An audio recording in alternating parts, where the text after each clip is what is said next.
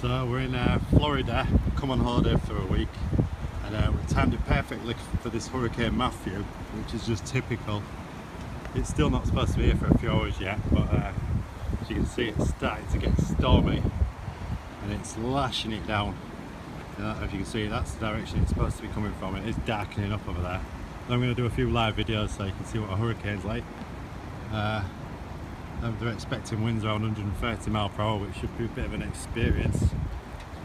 Yeah keep watching I'll update it soon